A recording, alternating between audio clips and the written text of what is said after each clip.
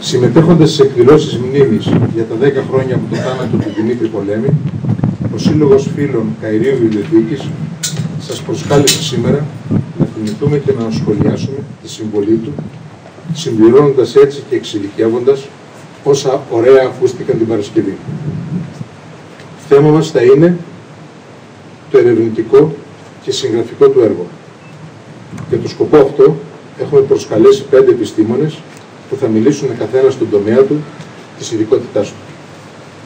Ξεκινώντας λοιπόν με ορισμένες εισαγωγικές παρατηρήσεις γύρω από τον Δημήτρη Πολέμη, έχω να σας πω τα εξής.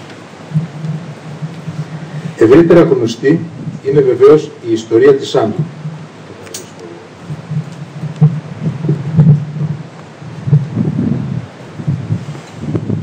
Δημοφιλής είναι επίσης διάφορες εργασίες του, όπως το Λεύκομα Tower, τα ιστιοφόρα της Άντρου, που βραβεύτηκε από την Ακαδημία Αθηνών, και βεβαίως η μνημειώδης δεκάτομη έκδοση της αλληλογραφίας του Θεόφιλου Καΐρη.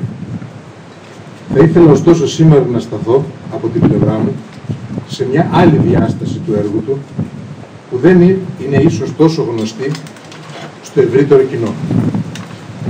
Το πάθος του για τη λεπτομέρεια. Η ιστορία της Άντρου, εξαντλημένη από καιρό, εκδόθηκε το 1981 ως γενικός οδηγός και απόσταγμα μιας 20ετούς έρευνας. Προϋποθέτει άλλωστε αυτή την έρευνα και όλες τις σχετικές δημοσιεύσεις εφόσον δεν περιλαμβάνει απομπές και σημειώσεις παρά μόνο μια γενική βιβλιογραφία. Είναι πυκνογραμμένη, λιτή και σύντομη.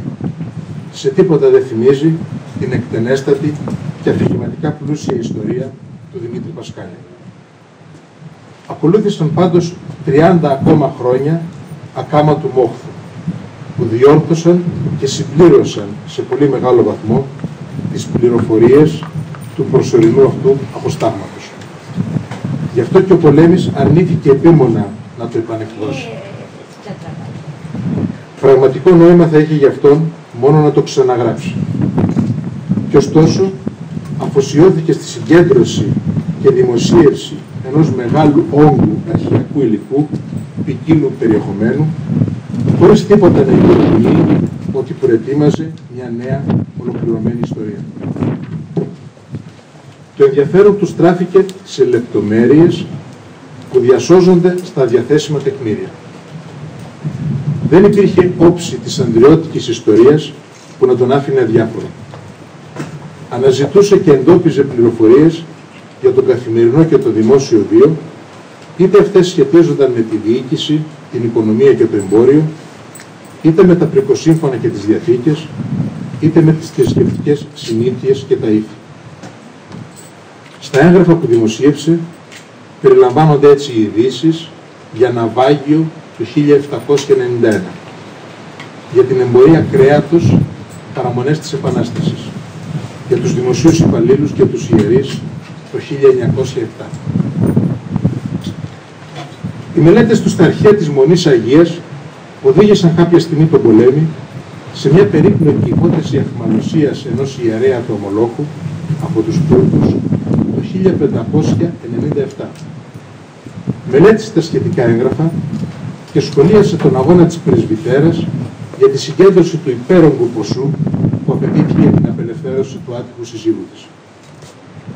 Επρόκειται για μια πολυετή διαδικασία στην οποία ενεπλάκησαν ο ηγούμενος της Μονής και ο Όπως δείχνει η υποδειγματική έκδοση των σχετικών επιστολών, των παραστατικών και των αποδείξεων, ο Παπαθοδωρής Ζαρπούλης απελευθερώθηκε, αλλά η εύπολη οικογένειά του καταστράφηκε ολοσχερός. Σε άλλη ευκαιρία ο Πολέμης ανακάλυψε σε Αθηναϊκό Παλαιό Βιβλιοπωλείο το ημερολόγιο και τα κατάστοιχα του Λινάρδου Καΐρη που ταξίδεψε από την Άντρο στη Βενετία το 1690. Εντόπισε έτσι τους σταθμούς της διαδρομής που διήρκησε σχεδόν δύο μήνες, τα καράβια που χρησιμοποιήθηκαν, τους κινδύνους που αντιμετωπίστηκαν με την επίθεση πειρατών, τις δοσοληψίες σε κάθε λιμάνι, τους αναλυτικούς λογαριασμούς.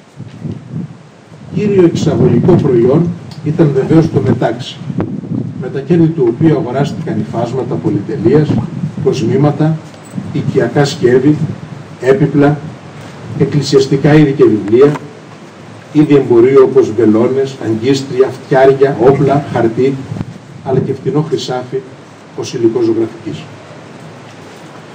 Το τρίτο μου παράδειγμα προκύπτει από την αλληλογραφία του Δημήτρη Πολέμη με καθολικά μοναχικά τάγματα στην Ιταλία. Διασταύρωσε έτσι οι ειδήσεις για τη σταδιοδρομία του Λεωνάρδου Κοντόσταυλου που κατατάχθηκε το 1703 στο μοναχικό τάγμα των Σωμάκων στη Βενετία, δραπέτευσε, διώχτηκε, περιπλανήθηκε στη Ρώμη και τη Φεράρα για να καταλήξει στα Απατούρια, όπου ενδεχομένως έζησε τελικώς κάπως ειρηνικότερα στη συντροφιά άλλων αρχόντων και αρχοντισών της εποχής. Ευκολότερος στον εντοπισμό, αλλά εξίσου συναρπαστικός, υπήρξε ο βίος του γόνου μιας άλλης επιφανούς αντριώτικης οικογένειας. Ο Σταμάτιος Δελαγραμμάτικας γεννήθηκε στο Κόρθι, στο μέσο περίπου του 19ου αιώνα. Δεκαετής ακόμα, ξεκίνησε ένα δύσκολο ταξίδι προς την Καλιφόρνια, αναζητώντας τον πρεσβύτερο αδερφό του Ιωάννη. Του χρειάστηκαν ωστόσο πέντε χρόνια για να το καταφέρει, εργαζόμενος ως ναυτόπαις ανά την υφήλιο. Και όταν έφτασε τελικώς στο Σαν Φρανσίσκο, πληροφορήθηκε ότι ο αδερφός του, γνωστός πλέον ως John Walker, διέπρεπε μεν ως ιδιοκτήτης ιστιοφόρων, αλλά είχε μόλις πνιγεί πριν από δύο μήνες. Ο Σταμάτης κατέληξε έτσι στη Χονολουλού, παντρεύτηκε ντόπια, ξέχασε τελείως τα ελληνικά και αφήγηκε την ιστορία τους πατριώτες που τον ανακάλυψαν στα πορτογαλικά. Το όνομα με το οποίο τους συστήθηκε ήταν Τόμας Κάρλος. Ολόκληρο βιβλίο θα μπορούσαν να καταλάβουν τα έγγραφα που εντόπισε και δημοσίευσε ο Πολέμης για το βίο και την πολιτεία του Περάκη Νέρη, γεννημένος στα Πατούρια το 1828. Έχοντας επιλέξει το μοναχικό βίο με το όνομα Παγκράτιος, ο Νέρης εγκατέλειψε κάποια στιγμή τη μονή του και περιπλανήθηκε στην Κωνσταντινούπολη και τη Σμύρνη, όπου εγκαταστάθηκε σε ένα μετόχι, συζώντας ωστόσο παρατύπως μια γυναίκα. Συνελήφθηκε από το ελληνικό προξενείο, αλλά ταπέτευσε και προσχώρησε στον προτεσταντισμό στη Μαγνησία. Συνελήφθη ξανά, δραπετεύοντας και πάλι για να βρει προστασία αυτή τη φορά στον πρόξενο της Περσίας και να σπαστεί το Ισλάμ. Μετά από νέα σύλληψη, οδηγήθηκε στην Ελλάδα, όπου καταδικάστηκε σε ισόβιο εγκλισμό στον προφήτη Ηλίου στη Θήρα. Μετά την τρίτη και τελευταία του απόδραση πάντως, ο Παγκράτιος χάθηκε από την ιστορία, χωρίς να αφήσει άλλα ίχνη στις διαθέσιμες γραπτές μαρτυρίες. Το ενδιαφέρον με τα ελάχιστα αυτά δείγματα που σταθιολόγησα δεν είναι μόνο η ακόρεστη περιέργεια του πολέμη για συναρπαστικά αφηγήματα που δεν έχουν καμιά θέση σε μια γενική ιστορία. Υποδεικνύουν επίσης το εύρος του ερευνητικού του προγράμματος, τη σχολαστικότητά του στην τεκμηρίωση, τη διασταύρωση πληροφοριών και την καταγραφή κάθε δυνατής λεπτομέρειας. Η παρατήρηση αυτή με οδηγεί σε μια ακόμα σημαντική διαπίστωση.